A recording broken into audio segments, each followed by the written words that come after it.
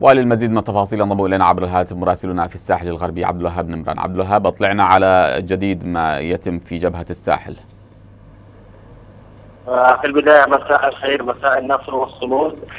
هي مع أبطال حراس الجمهورية وألوية العمالقة وألوية تهامة سيطرة على مطار الحديدة من الجهة الجنوبية وتم تأمين ذلك المطار من الجهة الجنوبية. فيما وحدات أخرى قامت بتأمين طريق صنعاء وتم بأفضل هناك انتصارات كبيرة متتالية وسقوط العشرات من ميليشيات الحوثي الإرهابية بين دخيل وجريح وعشرات الأسرى.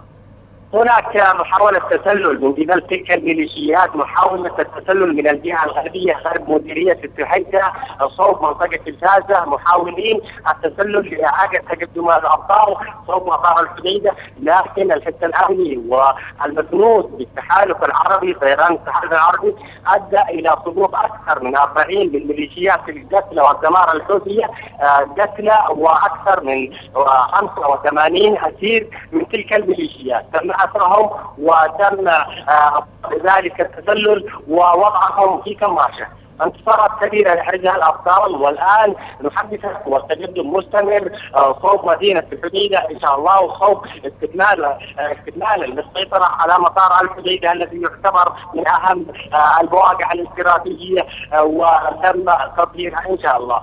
هناك محاولات من قبل تلك الميليشيات التجمع وشن تسللات على أبطال حراس الجمهورية والويه العمل مرصودة عبد الوهاب. لكن الصمود كل كل هذه التسللات مرصود مرصودة يعني وبالتالي يعني هم يدفعون الناس إلى الموت. نعم. تسللهم مرصود يعني من قبل القوات الوطنية المشتركة. مرصودة تحركات الميليشيات وأيضا محاولات التسلل. نعم معاشر طريق الحديدة صنعاء والمناطق الأخرى لكن هم يحاولوا التسلل عبر النخيل عبر أشجار النخيل وعبر الأشجار لكن كل تسللاتهم مرصودة ومن ثم تكليفهم خسائر كبيرة في الأرواح والعدد.